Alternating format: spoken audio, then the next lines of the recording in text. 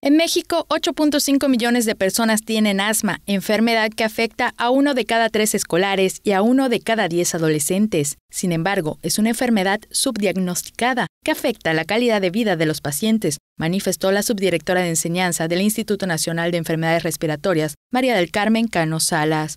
La especialista participó en el foro virtual hacia una transformación en el manejo y la atención del asma en México. Muchos de los pacientes, sobre todo en edad pediátrica, no son diagnosticados a tiempo y a veces llegan a tener una progresión de la enfermedad y, a veces los detectamos ya en etapas en donde el comportamiento es grave en la enfermedad. La alergóloga del Hospital Infantil de México, Blanca del Río Navarro, dijo que el asma es una enfermedad crónica y la pediátrica más frecuente, de modo que se requiere que los médicos de primer contacto sepan identificar cuándo referir al paciente al especialista. La presidenta de la Comisión de Salud, diputada federal Miroslava Sánchez Galván, afirmó que para atender a pacientes con neumopatías crónicas es necesario aprobar un presupuesto creciente al sector salud para diagnosticar padecimientos desde las etapas tempranas.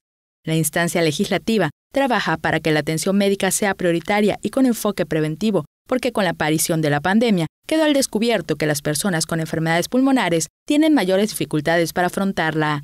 El secretario de la Comisión de Salud del Congreso de la Unión y organizador del foro, diputado federal Emanuel Reyes Carmona, dijo que propondrá que todas las personas, sin importar su condición económica o social, tengan acceso a la atención médica de calidad y tratamientos adecuados para el asma, porque es una de las primeras 20 causas de enfermedad en México y uno de cada 14 mexicanos lo padece.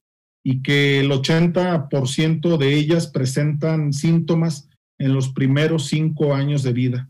El vicepresidente de la Sociedad Mexicana de Neumología y Cirugía de Tórax, Jesús Vázquez Cortés, resaltó que se deben impulsar cursos de actualización y educación médica continua, porque el COVID-19 dejó al descubierto la necesidad de capacitar a los médicos de primer contacto en el área de enfermedades respiratorias. Maribel Vega, Tele Yucatán, te informa.